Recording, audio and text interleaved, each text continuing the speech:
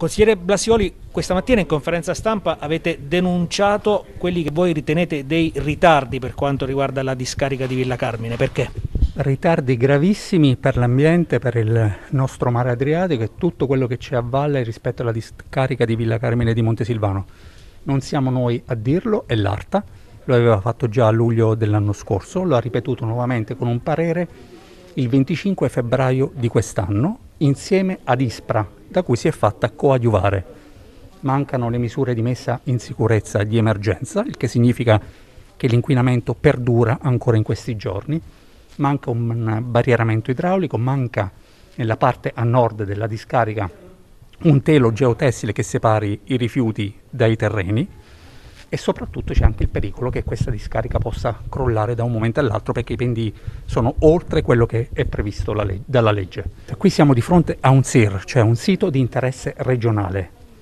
A fronte di questo però ARAP, che è la stazione appaltante individuata dalla regione rispetto ai 10 milioni di euro stanziati dal governo di centrosinistra, scrive però a settembre del 2020, guardate, a settembre del 2020, noi non siamo competenti ad adottare misure di messa in sicurezza, perché noi siamo competenti soltanto per la bonifica definitiva.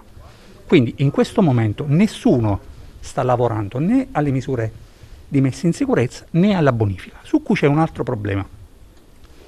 Arta e Ispra dicono chiaramente nel parere l'unica bonifica possibile a Villa Carmine è la rimozione di tutti i rifiuti, parliamo di 300.000 quintali di rifiuti e l'unica possibilità è questa e costerebbe circa 30 milioni di euro. Attualmente la dotazione sospesa per la rimodulazione dei fondi Masterplan è di circa 10 milioni di euro per il SIN Alento Saline, il che significa che bisogna lavorare anche a programmare quella che sarà la bonifica definitiva, che altrimenti non potrà mai partire.